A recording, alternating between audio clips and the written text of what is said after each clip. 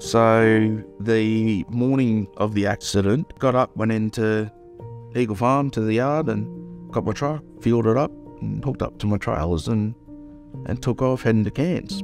Yeah, I got 60k roughly north of Gin Gin, and um, I came around a bend, and uh, I I just saw this real dense looking fog.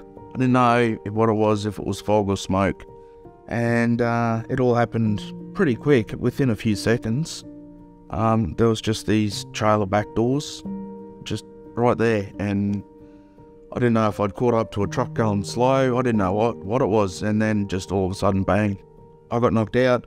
And then I woke up. And when I woke up, the inside of the truck, um, and, including myself, was all on fire.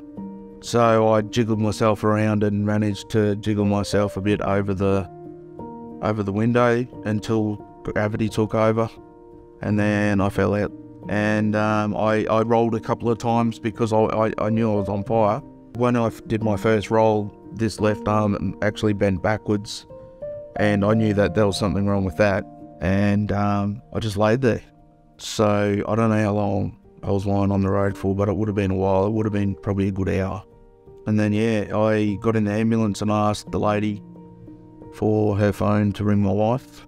And I, I just, I wanted to say goodbye because I thought that was it. I thought I was dead. I broke my jaw in three places, broke my cheekbone, eight broken ribs, broke my elbow, broke my forearm, and broke my shoulder when I landed on the road. And then, yeah, 70% burn. When his claim first came in, and I saw all these injuries, and speaking with his wife Ronnie in the early days, not knowing if he was going to make it. I still remember the first conversation I had with him once he was discharged from rehab and to see where he's gotten from there and from the beginning is just really great.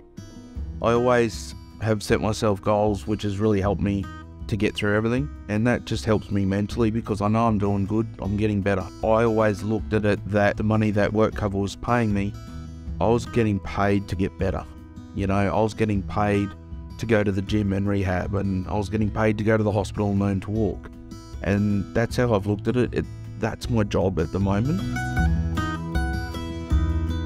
I think it's the peace of mind of having that wage still coming in. We've got bills, and we all know how tough it's getting at the moment. So I would have had to have sell up if I didn't have WorkCover. WorkCover work cover works really closely with NIISQ. So although Glen is with NIISQ and they're essentially funding his treatment care and support, I'm in contact with his support planner there. I'm always across what's happening. His support planner from NIISQ and I went out recently to see him at the hospital to see him walk on his prosthetics. And so we're really working closely alongside them.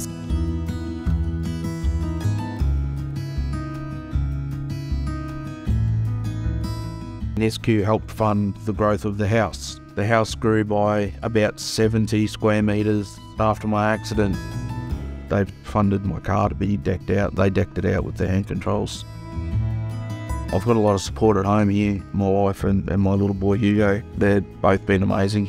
Anita, my my WorkCover case manager, has been unreal and, and helped me with a lot. So between WorkCover and NIISQ, there's been so much help and so much support, and yeah, having a really good support network. That's really that's really one of the biggest things I think.